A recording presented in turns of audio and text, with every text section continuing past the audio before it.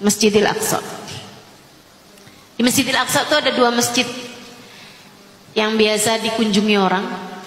Ada Masjid Aqsa, ada depannya itu masjid yang kubahnya kalau Masjidil Aqsa itu kubahnya hitam. Yang ada masjid kubahnya itu uh, keemasan, kuning keemasan. Nah, itu di dalamnya ada batu besar, teman-teman. Itu tempat naiknya Nabi Muhammad waktu Isra Mi'raj. Tentu di zaman itu belum ada masjid.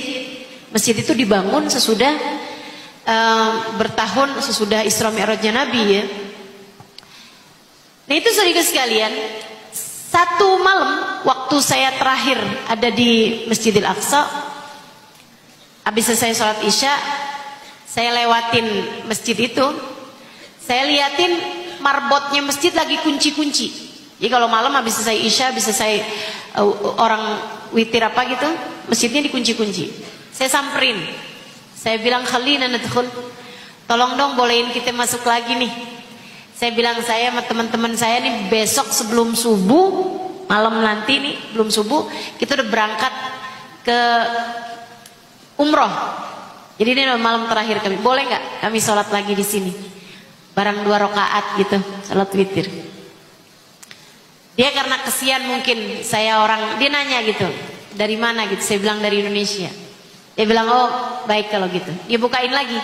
Tapi dia bilang jangan lama-lama ya. Saya bilang oke okay, Bismillah dua rakaat aja kok masuklah saya baru habis selesai saya sholat dua rakaat teman-teman saya gitu ya orang laki-laki tadi tuh nyamperin saya saya pikir oh ini biar suruh cepet nih ternyata dia nanya gini Arab Arabi ya dia bilang kamu ngerti bahasa Arab saya bilang boleh lah terus dia bilang tali berubik dia bilang sini sini saya mau tunjukin kamu sesuatu saya pun ikut sambil ngajakin teman-teman saya dia pergi ke bawah ke tempat batu itu.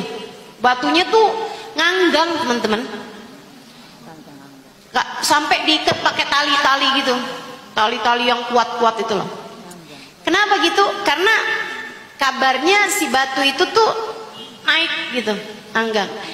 Itu ketika Nabi Muhammad Isra Mi'raj itu batunya kayak mau ikutan juga gitu. Jadi kecabut dari tanah. Dia kemudian nunjukin saya sebuah lubang. Dia bilang adkhili yadik.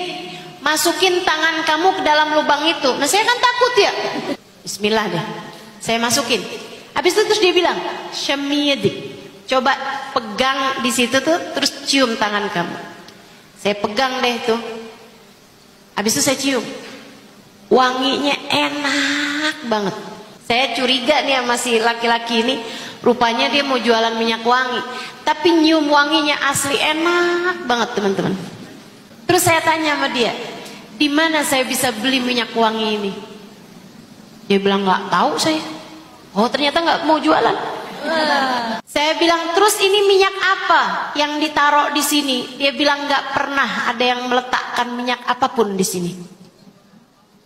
Kami sudah tahu bahwa tempat ini wangi, lobang ini wangi dari kami kecil di sini.